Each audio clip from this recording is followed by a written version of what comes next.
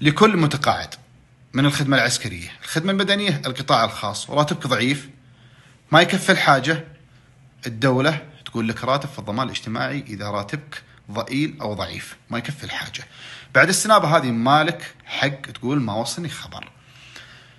لكل من يرى السنابة هذه أمانة في عنقك. إذا أنت ما أنت مستفيد منها أنك توصلها لأكبر عدد راح يستفيد من السنابة هذه راح أنزل لكم بعد السنابة دي جدول يختص بالاستحقاق في الضمان الاجتماعي للمتقاعدين وراح انزل لكم الرابط اللي تدخل منه على طول ترفع الشاشة وتدخل تقدم على الضمان الاجتماعي.